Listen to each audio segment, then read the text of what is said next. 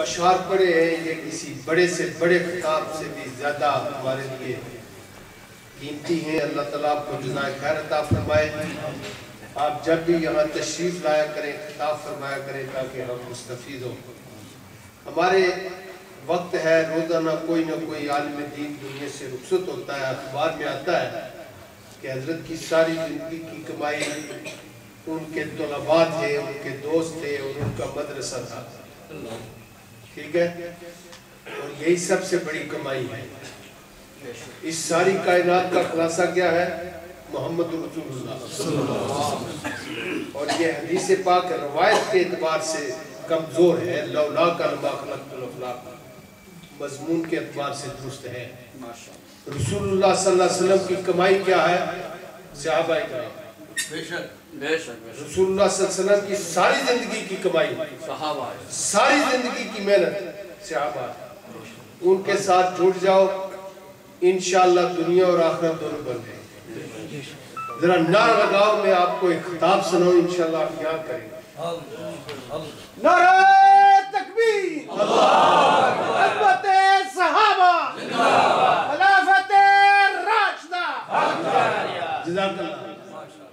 मौलाना उबैदुर रहमान जिया साहब का खिताब जो होता है वो बड़ा माना खेत होता है वो खाली बोली खिताब नहीं होता तो मैं उनको एक माना खेज खिताब के लिए दावत देता हूँ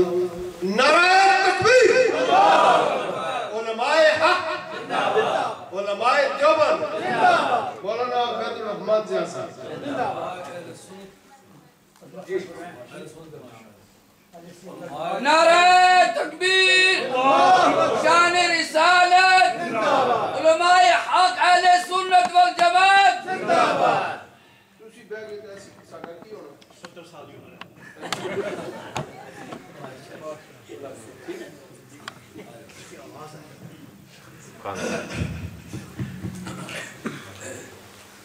थोड़ी सी आवाज ऊंची और गल दे पता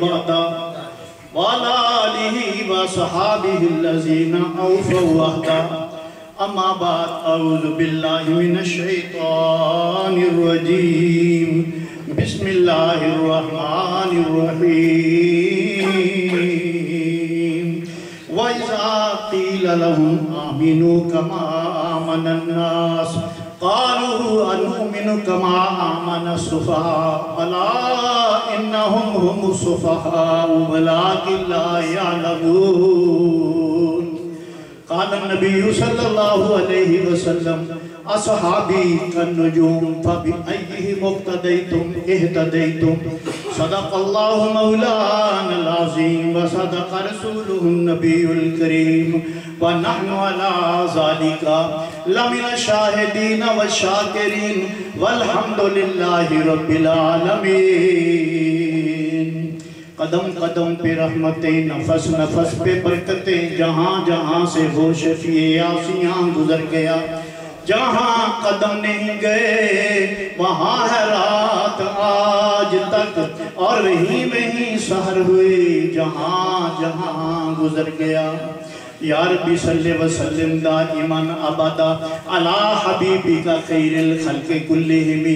आवाज़ बुलंद, असली दोषी पढ़ो मालदार बुलंद का मैंने होता है जरा ऊँची आवाज़। अल्लाहुम्मा सल्ली अला मुहम्मदिन व अला आलि मुहम्मदिन कमा सल्लैता अला इब्राहीम व अला आलि इब्राहीम। इन्नका हमीदुम मजीद। मुहम्मदिन कमा बारकता अला इब्राहीम व अला आलि इब्राहीम इन्नका हमीदुम मजीद। हज़रत मोहतरम, बड़े अच्छे अंदाज में कराम खताब फरमा रहे थे। बड़ा मज़ा आ रहा था। मेरी बारी तो अभी कुछ देर बाद में आनी थी। लेकिन बहरहाल, अगर गुलशी साहब हमारे भाई हैं, बहुत इल्मी शख्सियत हैं, बरमंगम की और मुहर्र भी हैं, तहरीर करने वाले भी हैं, ख़तीब भी हैं, प्यारे प्यारे स्टेज सेक्रेटरी भी हैं। दुआ करो अल्लाह हज़रत मौलाना इमदादुल हसन नमानी और उनकी औलाद का साया हमारे सिरों पर ताबीर कहते थे, ताकि ये इमारत आइंदा साल या उससे आइंदा साल डबल बन जाए। आवाज़ से इतना बड़ा काम जो हो गया है इंशाल्लाह बाकी काम भी हो जाएगा ऊँची आवाज़ से कह दें इंशाल्लाह। सहाबे कराम की शान का तस्करा आपके सामने शुरू है। और मैं भी इंशाल्लाह हो सकता है कि आधा घंटा किताब दूँ आपके सामने। और अगर मैंने देखा कि आप थोड़ी थोड़ी आवाज़ें लेने लगे हैं या कुछ तंग आ गए हैं तो दस मिनट पहले खत्म कर दूँगा। ऊँची आवाज़ से कहें इंशाल्लाह मोहतरम, सहाबी कहते किसे हैं, सहाबी की तारीफ़ से ही पता चल जाता है कि नबी अकरम सल्लल्लाहु अलैहि वसल्लम के यार, वो दोस्त हैं, वो यार हैं, वो शानों वाले हैं कि नबियों के बाद उनकी शान का मुकाबला कायनात में कोई कर सकते। छोटे दर्जे का सहाबी हो बड़े दर्जे का हो दर्जा तो हैं कुरान पाक के अंदर मौजूद। हज़रत मोहतरम सहाबियों से कहते हैं, जिसने अपनी आँख के साथ ईमान की हालत में मदनी सरकार सल्लल्लाहु अलैहि वसल्लम के बसोहा चेहरे की जियारत की। नबी का नाम है तो क्या कहना चाहिए? सल्लल्लाहु सल्लल्लाहु में सलात आ गई वसल्लम के अंदर सलाम। कितना मुख्तसर टू पॉइंट जुमला। अल्लाह के प्यारे पैगंबर ने अता फरमाया, दस नेकियाँ मिल दस दर्जे बुलंद हो गए, दस शाने और दस गुनाह माफ़ हो गए। तो इसके लिए दो बजे ग्यारह मौलियों खड़े होकर शोर मचाना कोई ज़रूरी नहीं है। सिर्फ़ हर बंदा जब कह देगा, सल्लल्लाहु अलैहि वसल्लम, सलात भी आ गई सल्लल्लाहु अलैहि वसल्लम। कितना आसान दीन है। लोगों ने बड़ा मुश्किल सुना कोई आदमी बहुत हो जाता है हमारे यहाँ, ये है कि सब्र की दुआ करो ताजीब करो तीन दिन। और इन्होंने मुश्किल बना दिया कि कम अज कम ग्यारह देगे होनी चाहिए, फिर वो मुर्दा जो है बख्शा जाएगा। अल्लाह तबारक हमें दीन पर अमल करने की तौफीक अता फरमाए जिसने अपनी आँख से नबी अकरम सल्लल्लाहु अलैहि वसल्लम को ईमान की हालत में जियारत की खाका भी ईमान पर हुआ, उसे सुहाबी कहते हैं। अब उसकी शान ये है कि कायनात उसका मुकाबला कर नहीं सकती। यानी सुहाबा के बाद सारे वली, सारे गौर सारे कुतुब, सारे अबदार इकट्ठे हो गए। उसकी शान का मुकाबला नहीं कर सकते। आप सवाल करेंगे, वो कैसे? ये कौन है? पीरान पीर शेख अब्दुल कदर जीलानी ऊँची आवाज़ से कहें। हम औलिया अल्लाह को मानते हैं। जो गरी हैं सच्चे उनको मानते हैं। जो पीपे शाह और जलेबी शाह है उसको मानना भी कोई ज़रूरी नहीं है। वली कहते उसको है जिसकी शक्ल देखकर खुदा याद आ जाए उसके अमाल को देखकर सुन्नत मुस्तफ़ा याद आ जाए। उसे अल्लाह का वली कहते हैं। पीरान पीर फरमाते हैं हाँ किसी आदमी ने सवाल किया पीर से कि हज़रत उमर बिन अब्दुल अज़ीज़ रहमतुल्लाह की शान ज़्यादा है या अमीर मुआविया रज़ी अल्लाह तआला अन्हु की शान ज़्यादा है? उसके ये जेर भी ये था कि वो ये जवाब देंगे हज़रत उमर बिन अब्दुल अज़ीज़ की शान ज़्यादा है लेकिन अमीर मुआविया की शान कम है अस्तगफिरुल्लाह। लेकिन पीरान पीर ने क्या जवाब दिया? आपने फरमाया तुम ये कह रहे हो रब्बे काबा की कसम अगर घोड़े के ऊपर से गुजरे हज़रत मेरे करीब से, और फिर घोड़े के सुमों की गर्द, घोड़े के नाक में जम जाए उमर बिन अब्दुल अज़ीज़ उसका मुकाबला भी नहीं कर सकता। अमीर मुआविया के मुकाबले में क्यों? इसलिए कि उमर बिन अब्दुल अज़ीज़ के पास अदल है, इंसाफ है, तहज्जुद है, चाश्त है, नफल है, पाँच नमाजें हैं, कुरान पाक का हाफिज है, कारी है, इंसाफ किया। लेकिन वो आँख कहाँ से लेकर आएगा जिस आँख ने मोहम्मद के चेहरे की जियारत?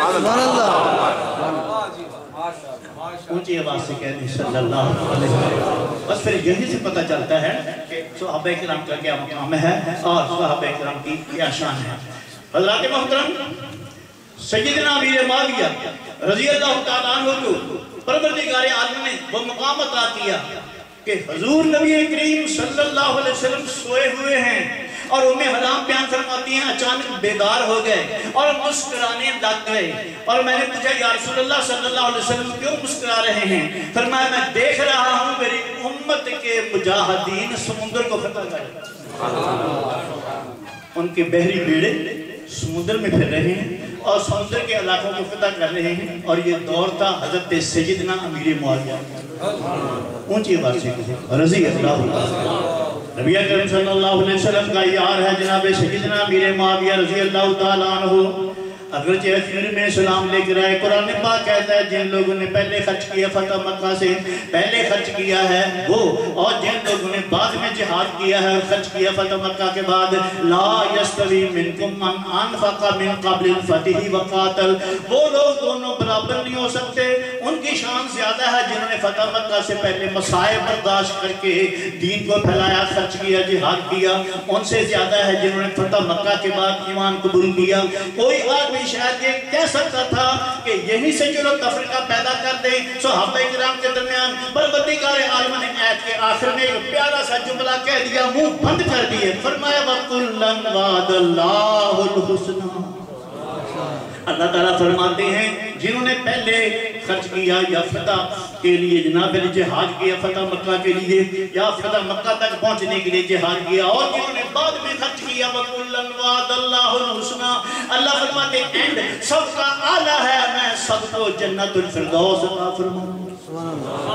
झगड़े तो खत्म हो गए झगड़े मुक गए असल पे है, जन्नत में जाना। जन्नत में जाना अल्लाह को राज़ी करना है। नबी अकरम सल्लल्लाहु अलैहि वसल्लम को राज़ी करना है। हजूर नबी करीम सल्लल्लाहु अलैहि वसल्लम आराम फरमा रहे हैं, आँखें खुलती हैं, मुस्कुरा रहे हैं, और बीबी पूछती है कि, याद क्या देखा आपने? फरमाया, समुद्र के अंदर मैंने देखा मेरी उम्मत के जहाज़ बहरी वो फिर रहे हैं, चल फिर रहे हैं। तो फिर नबी तबस्सुम फरमा रहे हैं। तो उस वक्त किसी ने कहा कि अमीर मुआविया की शान अल्लाह ही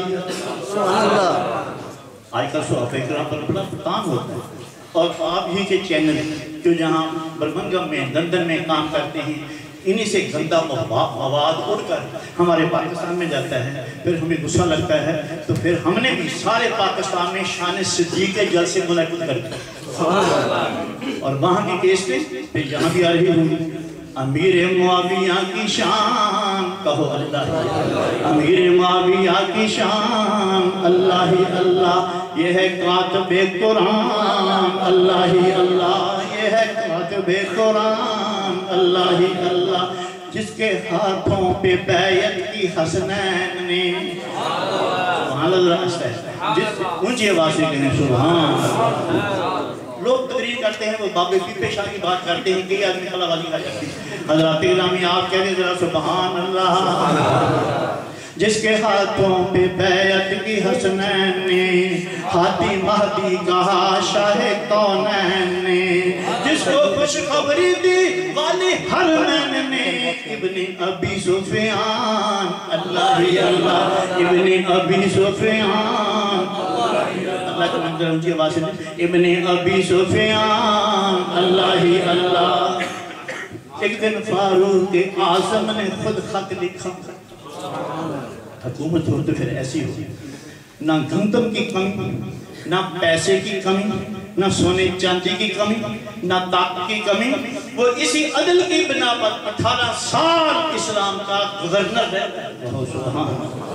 और उसके बाद फिर उसने अल्लाह के फतह किया सन पैंतालीस हिजरी में अमीर माविया की फौजें अब काबुल को फतह करने के लिए अफ़गानिस्तान में पहुँच गई थी सुभान तवज्जो जरा करते जाए मेरे मदनी सरकार सल्लल्लाहु अलैहि वसल्लम का याद है, एक दिन फारूक आज़म ने खुद खत लिखा कि मदीने में है कहत खत में लिखा पक्के खत माविया ने कहा पर मला मेरी जान कुर्बान अल्लाह ही अल्लाह, मेरी जान कुर्बान। अल्लाह ही अल्लाह। खबर जनाब बिजली है, वो कहते नहीं है। जनाब गैस है, वो कहते नहीं है। जनाब महँगाई खत्म हो गई है, वो कहते नहीं है। तो आप क्या कर रहे हैं? अल्लाह तबारक व तआला सबको हदायत अता फरमाए, कहो आमीन। हज़रत इकरामी तवज्जो जरा करते जाएँ, अमीर माविया की शान फरमाया, मैं कुर्बान हज़ारों ऊंटों पे गंदम को लदवा दिया माशी तौर पर इस्तेकाम हो तो ऐसा होना चाहिए। हज़ारों ऊंटों पे गंदम को लगवा दिया, कपड़ा पैसा भी कुछ साथ रखवा दिया। इसे ले जाओ मदीने ये फरमा दिया, कितना सखी था जवान, अल्लाह ही अल्लाह। और कितना सखी था जवान, अल्लाह ही अल्लाह। अब ये माविया कि नारा निकाल कोई? नाराए तकबीर। शान रिसालत। हज़रत अमीर मुआविया। देखो ना सादात अब माविया के साथ। और उनकी भी बड़ी शख्सियत थी अहले बैत पर। हज़रत गिरामी एक मरतबा मैंने पढ़ा है कि हज़रत अतीब रज़ी अल्लाह तआला अन्हु जो मुस्लिम के वाले साहब थे और हज़रत अली रज़ी अल्लाह तआला अन्हु के बड़े भाई थे। तो वो जब जंग का मौका आता जंग में क्या थी? मुनाफिका बेईमानों ने गलत फहमियाँ पैदा कर दी थी। बाद में सब कुछ शुरू हो गई बाद में हसन ने इमाम हुसैन से बैत भी कर दी, खैर के लफ्ज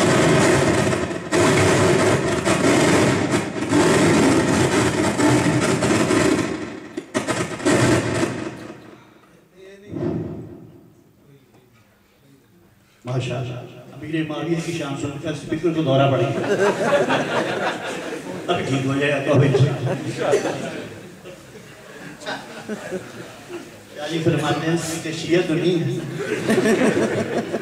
इतनी देर हो गई। मस्जिद के अंदर इस स्पीकर को ये शिया रह सकते ही हैं अलामा साहब के पीछे जो आदमी चार जुमे पढ़ ले, वो शिया भी नहीं रहेगा और कब्र को सजदा करने वाला भी नहीं रहेगा। मुझे बात से कहो किसके लिए शिगिर्द हैं? हज़रत मौलाना जियाउल कासिम साहब के जिनके छोटे भाई अभी अभी आपके सामने कुरान पाक पढ़कर आपके ईमान को भी ताज़ा करेंगे, मेरे ईमान को भी ताज़ा करेंगे। और फरमाया, इतनी गंतम भेज दी। हज़रत उमर रज़ी अल्लाह तआला ने को पैगाम भेजा, हज़रत अमीर मुआविया ने रज़ी अल्लाह तआला ने। क्या पैगाम भेजा?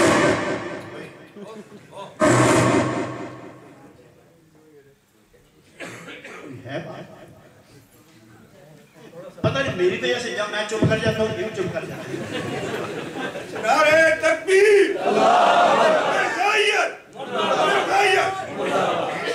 बात ठीक अब ठीक है भैया अच्छा।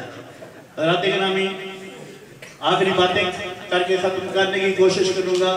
मेरे मदनी सरकार सल्लल्लाहु अलैहि वसल्लम का यार सैयदना मीरे माविया रज़ी अल्लाह ताला एक मर्तबा अपनी बहन के घर मौजूद, जो बहन नबी करीम सल्लल्लाहु अलैहि वसल्लम की बीवी थी। घर में बैठे हुए थे और तेल सर पर लगवा रहे थे। ऊपर से नबी करीम सल्लल्लाहु अलैहि वसल्लम आ गए और बहन कहने लगी, मुझे अमीर मुआविया से बड़ा प्यार है या रसूल अल्लाह सल्लल्लाहु अलैहि वसल्लम। हज़रत नामी नबी करीम सल्लल्लाहु अलैहि वसल्लम ने फरमाया, बरकत मौलाना जियाउर रहमान फरूकी रहमतुल्लाह अलैह। बयान उन्होंने फिर, नबी अलैहि सलाम ने फरमाया, कि तुझे ही, तुझे, सिर्फ़ तुझे ही प्यार नहीं है। मुझे भी इसे अर्श वाले खुदा को प्यार।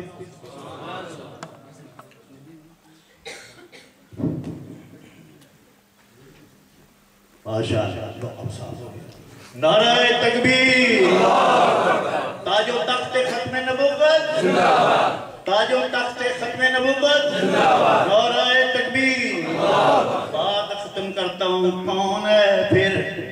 बहरी बेड़े, ख्वाबों में आने लगे। अल्लाह बहुत अच्छा बहरी बेड़े ख्वाबों में आने लगे। मुस्तफ़ा देख कर मुस्कुराने लगे।